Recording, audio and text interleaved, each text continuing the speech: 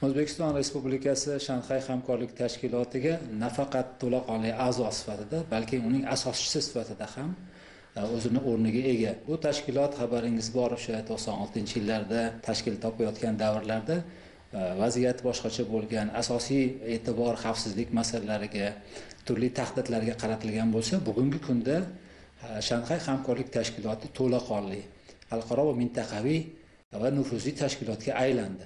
Mana shu tashkilotga o'tgan yili sentyabr oyidan bu yil sentyabr oyigacha navbat bo'yicha o'zbekiston raislik qilmoqda. Va biz mana samarqand sammitiga tayyorlanyapmiz. Mana shu o'zbekistonni raislik davrida juda ko'plab tashabbuslar fikrlar yangi g'oyalar loyihalar kiritilgan. O'zbekiston bu safar to'rtinchi marotaba mana shu tashkilotga raislik qilmoqda va har safar raislik davomida tashkilotni nufuzini oshirish unga mantiqan bo'lgan yangi g'oyalarni kiritish bilan ajralib turadi.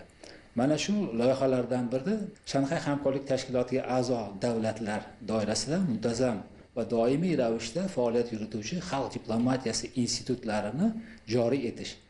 Bu tashabbus prezidentimiz shavkat mirziyoyev tomonidan ikki ming o'n yettinchi yilda qozog'istonda bo'lib o'tgan oliy darajadagi uchrashuvda ilgari surilgan edi va ikki ming o'n sakkizinchi yilda o'zbekiston ilk marotaba mana shu tashkilot doirasida o'zbekistonda e, xalq diplomatiyasi markazini ta'sis etdi.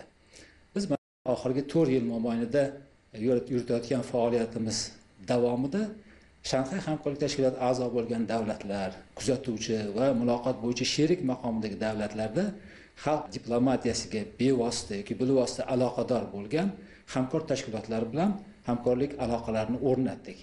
Va bu aloqalarimiz o'zini natijalarini bermoqda. Nima uchun xalq diplomatiyasi degan savol tug'ilishi mumkin? Man bunga alohida e'tiborni urg'uni qaratmoqchiman. Davlatlar o'rtasidagi munosabatlar nafaqat oliy darajada. Bu davlat rahbarlari hukumat rahbarlari vazirlar yoki idoralar rahbarlari tomonidan emas oddiy xalq o'rtasida ham rivojlanishi kerak. Bu juda muhim. Insonlar o'rtasidagi bevosita aloqalar qanchalik rivojlansa demak yaxshi qo'shnichilik munosabatlari o'zaro ishonch munosabatlari millatlararo dinlararo sivilizatsiyalararo muloqot shunga qarab rivojlanadi va kengayadi shuning uchun bu institutni o'zbekistonda ta'sis etilishi juda muhim o'rinli va o'z vaqtida amalga oshirilgan tashabbus hisoblanadi. Mana shu markazimizni faoliyat davomida biz e, ilk davrlarda agar e, xorijiy mamlakatlarda xalq diplomatiyasi institutlari markazlari qanday faoliyat yurityapti ularni tajribasini o'rgangan bo'lsak bugungi kunda biz tizimli xalq diplomatiyasi g'oyalarini uni turli xil vositalari instrument o'sha mexanizmlarni ilgari suruvchi yangi yangi loyihalar ustida ishlamoqdamiz. Va mana o'tgan yili dushanbe shahrida bo'lib o'tgan oliy darajadagi sammitda prezidentimiz yana bir bor.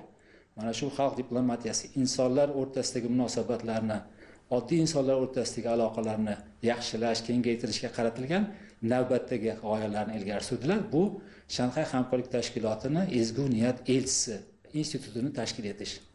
Endi shanxay hamkorlik tashkilotini asosiy nizomi sankt peterburg shahrida qabul qilingan xartiyasidan kelib chiqadigan bo'lsak har bir taklif tashabbus kiritilgandan keyin ma'lum jarayonlarni o'z ichiga oladi. Bu qaysi jarayonlarni inobatga oladi? Demak har bitta davlat bilan mana shu g'oya mana shu tashabbus o'rganiladi.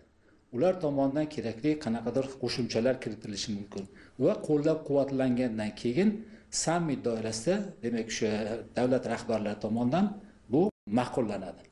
Demak mana o'tgan yili ezgu niyat elchisi instituti to'g'risidagi g'oya kiritilgan bo'lsa samarqand sammitida yangi institutni tashkil etish va uni joriy etish bo'yicha konsepsiya ishlab chiqilgan mana shu konsepsiya qabul qilinadi.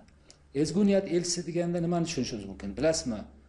Yevropa davlatlarida xalqaro tashkilotlar doirasida mana o'sha birlashgan millatlar tashkiloti bolalar jamg'armasi afrika ittifoqi va ko'plab xalqaro tashkilotlar doirasida ezgu niyat elchilari uzoq yillardan beri faoliyat yuritmoqda.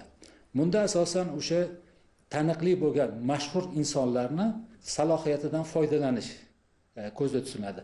Masalan ular sport sohasida madaniyat san'at musiqa va boshqa boshqa sohalarda o'zlariga millionlab ixlosmandlarga ega bo'lgan insonlar. Ba'zida ezgu niyat elchisini mashhurlar diplomatiyasi ham deb aytiladi demak ularni tashkilot doirasiga jalb etish tashkilotni imijini ya'ni uni nufuzini oshirish bilan bir qatorda xalq diplomatiyasini yanada ilgari surish ularni tashkilot mintaqa doirasidagi dolzarb muammolarga mavzularga e'tiborni qaratish.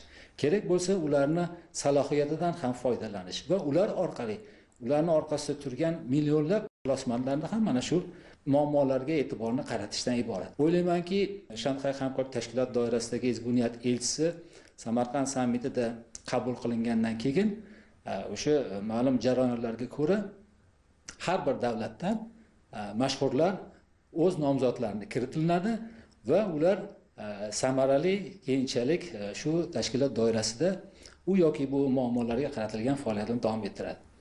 Endi yana bir tashabbus bu tashabbus bu yil may oyida o'tkazilgan turizm vazirlarini o'zbekistondagi e, darajadagi uchrashuvda qabul qilindi. Bu yangi tashabbus har bir raislik etuvchi davlat shanxay hamkorlik tashkilotini madaniy va turistik poytaxti deb e'lon qilinishi to'g'risida yangi bir Э, taklif ilgari surildi. Bu taklif ham barcha e, turizm vazirlari e, mutasaddi tashkilotlar tomonidan qo'llab quvvatlandi va samarqand sammitida ham e, oliy darajadagi uchrashuvda davlat rahbarlari tomonidan hozir tasdiqlanishi kutilmoqda. Endi xabaringiz bor mana o'zbekiston raisligi mana shu sammit bilan tugaydi va biz navbatdagi o'sha estafeta bayrog'ini hindiston davlatiga topshiramiz. Shanxay hamkorlik tashkilotini madaniy va turistik poytaxti degan nizom hozir hindistonni varanasi shahriga topshirilmoqda. Nima uchun varanasi degan savol tug'ilishi mumkin? Bilasizmi varanasi shahri bu hindistonni qalbi hisoblanadi. Bu o'sha katoliklar uchun vatikan qanchalik muqaddas bo'lsa musulmonlar uchun e, makka qanchalik muqaddas bo'lsa hindular uchun varanasi shahri shunchalik muqaddas qilinadi. Ba'zi e, tarixiy e, faktlarga qaraganda bu shahar besh ming yillik tarixiga ega. Va bu o'sha mahabhorat ramayana degan qo'lyozmalarda ham kiritilingan eslab o'tilgan. Bu shahar o'ziga xos shahar hisoblanadi. E, Shunday e'tiqod borki hindular orasida ular mana aynan shu shaharga kelib o'zlarini o'limlarini topishini xohlashadi. Bu juda muqaddas ilohiy shahar hisoblanadi ular uchun. Va bu shahar e, yana bir muqaddas daryo hindlar uchun muqaddas hisoblangan daryo ganga bo'yida joylashgan. Va mana shu ming yillik tarixni inobatga olgan holda e, hindiston tomonidan varanasi shahri kiritilingan. Bu shahar nima berishi mumkin? Madaniy va turistik poytaxt sifatida degan savolga qaraydigan bo'lsak barcha davlatlarni o'ziga xos tarixiy osori atqalari mavjud. Bu orqali hindiston o'zini e, ming yillardan biri rivojlanib kelgan sivilizatsiyasini urf odatlari madaniyati an'analarini targ'ib qiladi. Bu yerga shanxay hamkorlik tashkilotiga a'zo bo'lgan davlatlar kuzatuvchi muloqot bo'yicha sherik maqomidagi davlatlardan turistlar kelinishi oqimi kuchayishi mumkin. Va bu esa o'sha boya aytib o'tganimdek sivilizatsiyalar muloqotni yaxshilashga ko'mak beradi.